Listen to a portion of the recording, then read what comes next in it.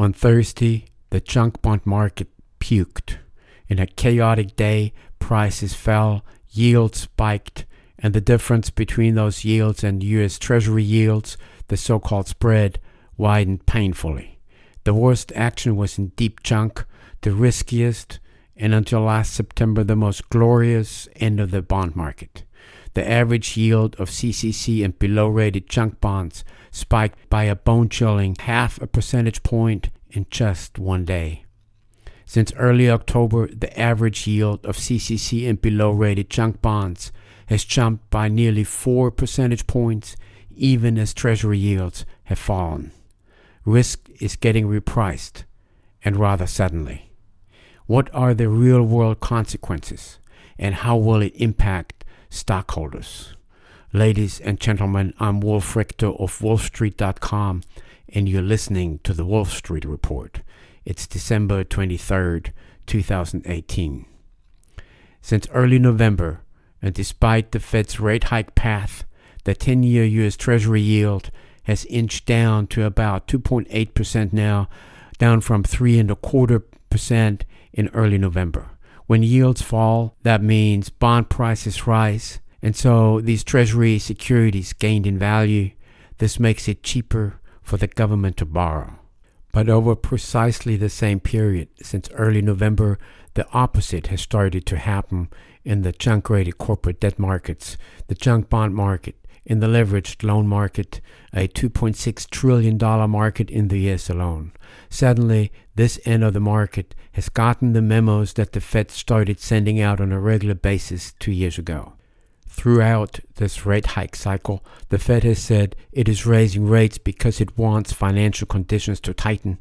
And now, after markets had brushed off the Fed's efforts for two years, financial conditions are finally tightening, meaning that risk is getting repriced. The fact that the 10 year US Treasury yield has fallen and that the price of those bonds has risen shows that investors have been enthusiastically buying them, eagerly accepting the lower yields of those so called risk free investments. One reason investors have been rushing to buy US Treasury securities is the flight to safety, as plunging stocks and other risk investments are teaching investors once again what the term risk actually means. That risk doesn't just mean prices surge all the time, but that the tide can turn and prices can plunge and can plunge faster than they surged. And spooked investors created a lot of selling pressures in risk assets such as stocks, junk bonds, and leveraged loans, and conversely, a lot of buying pressure in the US Treasury market. The selling pressure in the corporate debt markets hit junk bonds and leveraged loans the hardest. This is a $2.6 trillion market combined. Since early November, while the 10 year Treasury yield was falling, yields of junk rated corporate debt was surging, making it more expensive and more difficult for these overleveraged cash flow negative companies to borrow. Fed Chairman Jerome Powell at the post meeting press conference last week made reference to this phenomenon several times when he said, and I quote, financial conditions have tightened a bit since the September meeting. With monetary policy, the Fed seeks to tighten or loosen the so called financial conditions. Since the onset of QE and the Fed's zero interest rate policy, financial conditions have been ultra loose, meaning that even the riskiest, most overleveraged companies with huge cash burns could always find investors to hand over their cash at a minuscule cost for the company so that companies could go out and burn it. Investors did this because the Fed surgically removed any possibility to make any reasonable return on less risky investments. The so called chase for yield was on, in which more and more investors chased after riskier and riskier assets, thus driving up their prices and driving down their yields. Corporate borrowers took full advantage of this Fed induced consensual insanity that has afflicted these investors and issued a record amount of junk rated debt. In December 2015, the Fed voted to change policy with its first rate hike in the cycle. A year later, in December 2016, it voted for its second rate hike. And seeing how these yield chasing investors were creating enormous risks, the Fed started to raise rates regularly in order to tighten these ultra loose financial conditions and to remove some of this fuel that has fired up this enormous wave of blind risk taking. But the opposite happened. Since December 2016, when the Fed got determined to remove this fuel, financial conditions have actually loosened. There's always a lag between changes in monetary policy and the transmission of those changes to the markets, to where financial conditions actually change. Monetary policy only becomes effective once it has been transmitted to the markets and changed the financial conditions. And this takes a while, typically about a year and a half. But because of the persistently gradual approach of the Fed, this has been the slowest rate hike cycle in history.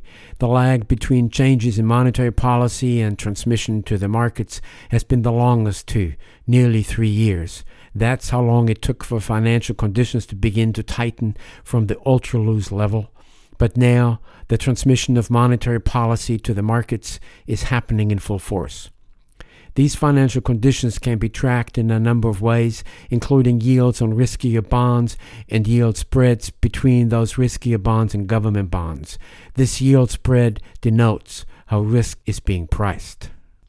For example, junk bonds rated triple C and below, this is deep junk that is closer to D for default than to the lowest investment grade category of triple B. These are very risky instruments where default is a significant chance. During the financial crisis, these bonds crashed. The average yield soared to over 40%. A number of these companies went bankrupt. Eventually, the average yield among the survivors fell back to below 10%. During the oil bust in 2016, there are a bunch of energy credits in this group. The average yield spiked to 22% as a gaggle of energy companies ended up in bankruptcy court. When the Fed got serious about rate hikes in December 2016, the oil bust was over and the average yield of triple C rated bonds and below had dropped to 12%. But as the Fed continued to raise rates and as Treasury yields rose, the yields of those triple C rated bonds actually fell further, thus narrowing the spread between them and treasuries. The yield eventually bottomed out at 9.5% in September 2018, with the spread to treasuries down to just 6.5%. This made triple C rated bonds one of the best investments since their bottom in February 2016. But then junk bond yields started to tick up. By November 26, the average yield hit 12% again, finally getting to the point where it had been when the Fed started raising rates. It sat there until December 5th, then ticked up again. By December 17, it was at 12.5%. Then yields suddenly spiked. And last Thursday, the market puked. The average yield jumped by over half a percentage point in just one day to 13.4% and the spread between triple C rated bonds and the Treasury yield spiked by a half a percentage point to nearly 11 percentage points. The spread widened because Treasury yields were falling even as these junk bond yields were surging. This is how risk is getting repriced. The actual risks have stayed the same, but investors suddenly woke up and demand a bigger price to take those risks. That's what the surging yield spread says. This isn't just an issue for investors whose bonds and leveraged loans and stocks are sinking in value. It's a huge issue for companies with real world consequences. For over leveraged, cash flow negative companies, the conditions that give them their junk credit rating, it's getting more expensive and more difficult to borrow. They suddenly find themselves in a world where funding their endless cash burn by borrowing more money becomes too costly or even impossible. This is where financial forces trigger defaults and bankruptcies. A cash flow negative company that cannot raise new funds to feed its cash burn will have to default on its existing debts and will either have to restructure these debts or liquidate. After record issuance of junk debt, many of these companies face a world where financial conditions have tightened. They will have difficulties refinancing these debts when they come due in 2019, 2020, and later. And they will become part of a powerful wave of defaults starting next year. But let's face it, the shakeout and cleanup of over-leveraged corporate America, even if painful, are long overdue. There are many companies in this group that will never be cash flow positive. There are many companies with too much debt. The wave of bankruptcies will free these companies from some of their debts and give them a fresh start. Other companies will be liquidated, thus making room for healthier competitors. This will blow out the cobwebs from the Fed engineered credit bubble that lasted nearly a decade but it will come at, a, at the expense of the investors. It will be painful for them, particularly those at the low end of the totem pole, namely stockholders and unsecured creditors or creditors secured by lousy collateral. And other investors, those that have any liquidity left, will be able to pick up good assets for cents on the dollar. Ladies and gentlemen, I'm Wolf Richter of WolfStreet.com and you listened to the Wolf Street Report. Merry Christmas and Happy Holidays.